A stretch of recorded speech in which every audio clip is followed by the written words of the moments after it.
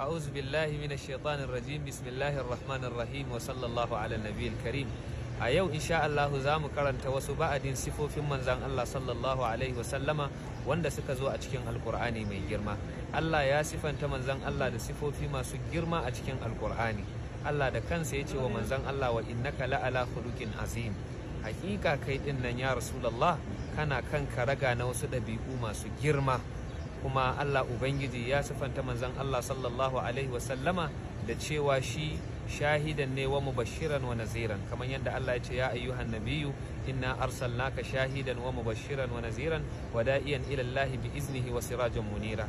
Ya kai annabi ni ne na turo ka ko mu ne muka turo ka. Shahidan mai yin shaida wa mutane ranar alkiyama.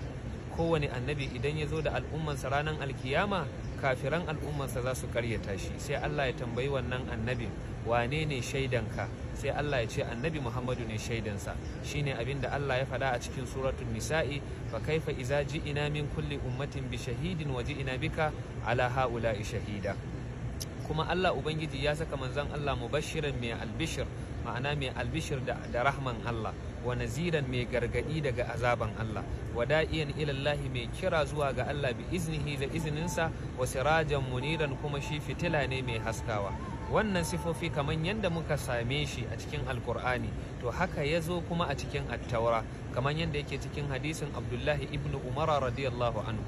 An tambaye shi ka sifanta mana sifofin manzan Allah sallallahu alaihi wasallam. Shin manzan Allah akwai sifofinsa a cikin attaura kamar yadda da akwai sifofinsa a cikin alkur'ani sai ya ce wallahi innahu la mawsufun fit taura bi ba'di sifatihi fil qur'an.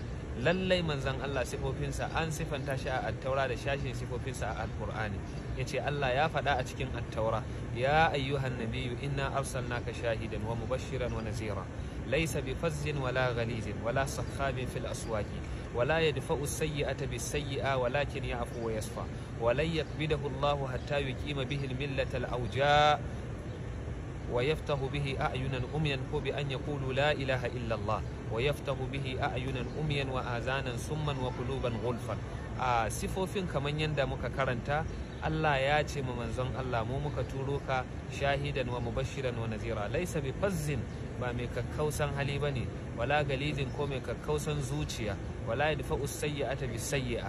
Baya rama mummuna idan an masa mummuna. Ma'ana idan an masa laifi to baya ramawa da mummuna. Idan an masa mummuna shi sai ya rama mummuna da kyakkyawa. Walakin ya afu wa yasfahu. Manzon Allah ya zama mai afuwa kuma mai rangwame.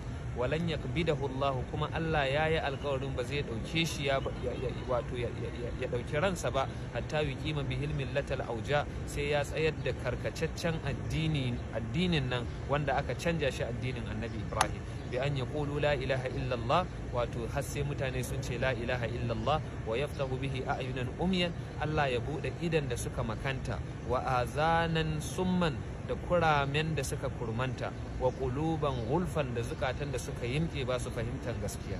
Wannan shine manzon Allah sallallahu alaihi wasallama akwai dubban ɗaruruwa na waɗannan sifofi mabambanta wanda Allah ya siffanta manzon Allah sallallahu alaihi wasallama da su za mu takaita akan waɗannan sifofi. Assalamu alaikum wa rahmatullahi wa barakatuh.